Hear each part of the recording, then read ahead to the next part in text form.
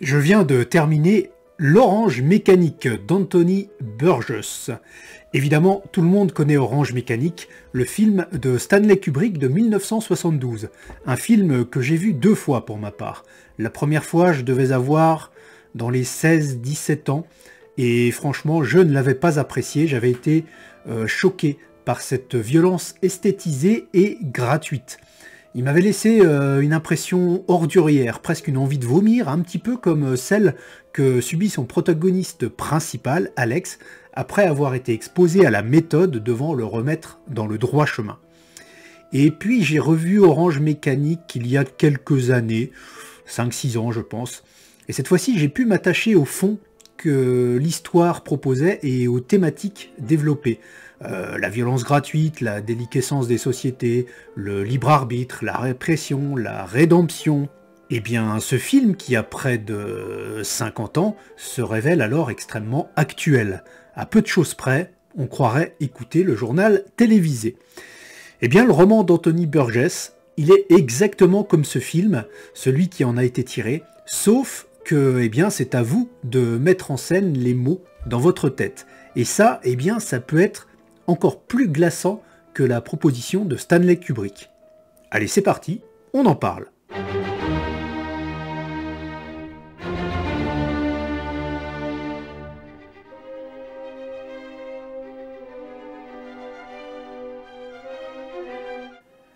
Eh bien, pour commencer cette critique de l'orange mécanique d'Anthony Burgess, revenons d'abord sur le synopsis du roman.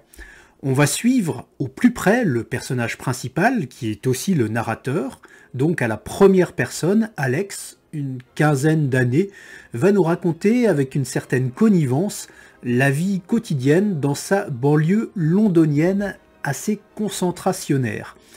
Euh, il y passe ses journées à sécher les cours et ses soirées eh bien, à faire de mauvais coups avec sa petite bande. Alors quand je parle de mauvais coups, c'est vraiment des mauvais coups. Hein. Alcool et drogue, euh, déchaînement de violence contre d'autres bandes ou des kidams croisés au hasard, euh, torture, viol. On est vraiment dans la totale. Meurtre même éventuellement. Donc soigneusement, avec un plaisir qui est vraiment évident, eh bien les jeunes s'acharnent à détruire chaque élément structuré de la société. Ils déchaînent le chaos qu'ils portent en eux. Et Alex, notre narrateur, eh bien, c'est leur champion, leur leader incontesté et incontestable. Il a une gueule d'ange, il est charmeur, il est pervers, il est amateur de belle musique. Alex, eh en quelque sorte, c'est un petit peu l'archange du mal. Mais euh, une énième fois, eh bien, Alex va aller trop loin. Et cette fois-ci, eh bien, ce sera direction la case prison. Et c'est ici qu'une chance va se présenter à lui contre son accord pas tout à fait éclairé, il va avoir l'occasion de tester euh, un tout nouveau programme de reconditionnement. Un programme qui peut transformer le pire criminel en un doux euh, agneau inoffensif pour la société. Alors la vie d'Alex va se transformer en une sorte de cauchemar, et ce qu'il fait subir à la société depuis euh, bah, qu'il a la force de tenir un, couteau entre les mains, eh bien cette fois-ci c'est la société qui va le lui faire subir au nom de l'ordre, bien évidemment. Les derniers paragraphes du roman euh, seront toutefois sans appel quant à cette méthode et à ses conséquences. Alors, que propose l'orange mécanique En dehors de ces descriptions quasi obscènes de bastons, de destruction, de viol, bref, de violences gratuites exécutées juste pour le plaisir de jeunes euh, désœuvrés et complètement désinhibés? Eh bien, il propose un paquet de thématiques euh, qui sont traitées plutôt subtilement contre toute attente. Pour commencer, notre petit Alex, cet archange du mal, eh bien, c'est aussi un esthète. Il place euh, plus haut que tout son cher Ludwig van, comprendre évidemment Beethoven. Euh, comment une telle dualité peut-elle exister en un seul être? Délicatesse et raffinement d'un côté, destruction et avilissement de l'autre. Est-ce que cela ne vous rappellerait pas des monstres, entre guillemets, des monstres de l'histoire, récente ou plus ancienne, à qui l'on confierait euh, son enfant en garde sans sourciller, et qui, à côté de ça, sont capables de commettre les pires actes? Euh, Burgess nous décrit aussi euh, une société qui a totalement échoué dans la prise en charge de ses membres. La famille, Euh, l'éducation, la justice sont complètement larguées euh, dans le monde d'Alex et la conséquence, eh bien, c'est ça, un ensauvagement. Est-ce que ce mot ne vous rappelle pas quelque chose? Euh, Un ensauvagement et des comportements déviants, sacrément déviants. Hein. Et toujours à propos de la société, il y a ce risque de glissement vers un régime totalitaire. La méthode appliquée pour redresser l'esprit d'Alex serait totalement inadmissible dans notre état de droit actuel. Hmm, ouais, mais peut-être qu'il ne faudrait pas grand-chose pour qu'on se dise que, quand même, ça vaudrait peut-être le coup de tenter l'affaire. Un peu plus de peur, euh, de violence, de menace, qu'elles soient réelles ou non d'ailleurs, et hop, imposer l'ordre par la force n'est plus une simple vision de l'esprit. Et tiens, là aussi, on peut se demander euh, si ça nous rappelle pas deux, trois petits trucs, chez nous, ou plus au sud, ou à l'ouest, ou à l'est aussi, enfin bon, un petit peu partout en fait. Et puis bien sûr, il y a le thème du libre arbitre, absolument fondamental dans la troisième partie du roman. Choisit-on réellement ce qu'on l'on est, ce que l'on fait, ce que l'on dit, ou bien tout cela n'est-il que le résultat de prédispositions à la fois génétiques, familiales, environnementale, sociétale euh, Peut-on vraiment choisir entre le bien et le mal euh, Et est-ce que reconditionner un être humain pour lui ôter ce libre arbitre afin qu'il se conduise de la manière la plus acceptable euh, dans la société est digne de notre société, justement? Et un tel hum, être humain reconditionné serait-il encore véritablement un être humain? Une telle société n'aurait-elle pas franchi une ligne rouge en manipulant les individus, les masses, afin de servir son intérêt euh, Manipuler les masses pour servir son intérêt? Hmm. Non, quand même pas, mince. Euh, n'est-ce pas là encore euh, une thématique qui pourrait vous dire quelque chose? Et puis enfin, il y a le style, la langue utilisée pour narrer l'aventure d'Alex. Ce livre est absolument incroyable de ce point de vue, puisque l'auteur a inventé un argot utilisé par les jeunes entre eux, une véritable barrière contre le reste du monde.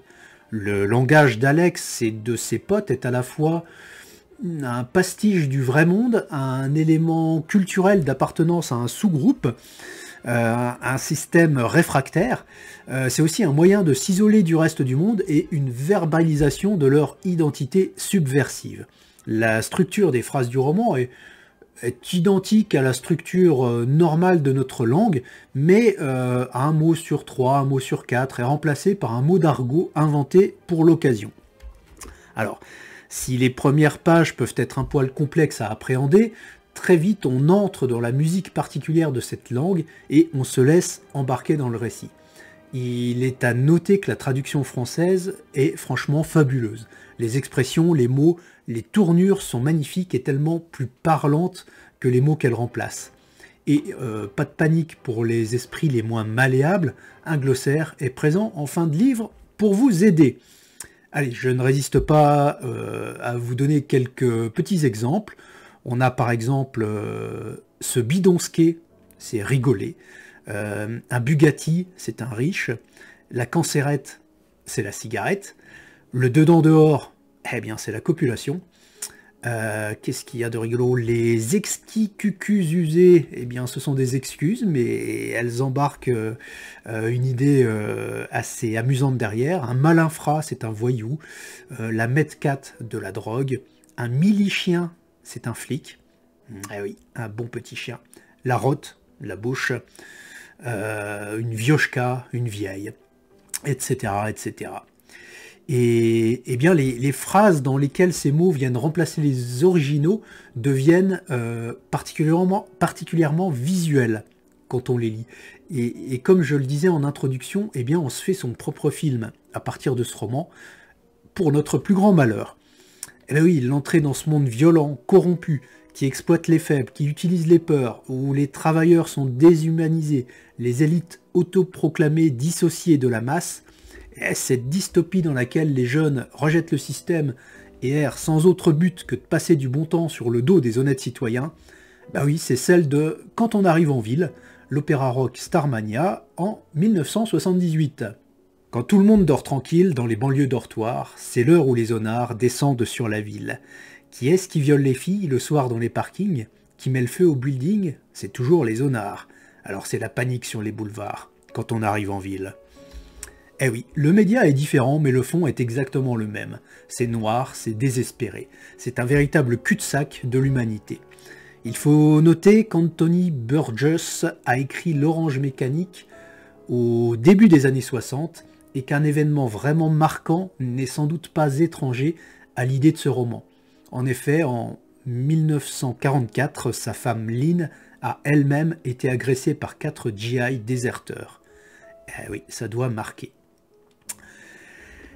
Et donc, euh, pour conclure, eh j'ai vraiment beaucoup apprécié, et c'est difficile à dire hein, euh, quand on revoit la teneur de ce roman, euh, cette plongée dans un enfer dystopique qui pose de nombreux jalons sur les déviances de nos sociétés actuelles. Ce roman est pour moi tout à fait dans la lignée des 1984, Fahrenheit 451, Le meilleur des mondes, etc. il est vraiment absolument à découvrir ou à relire. Donc, mes frères, en drinkant un bon verre de Moloko, en slouchant la cinquième de ce Tsarib Ludwig van, pendant que votre Zina Zaznout totalement nagoye sa luxuriante splendeur étalée sur le Podouchka. Bonne lecture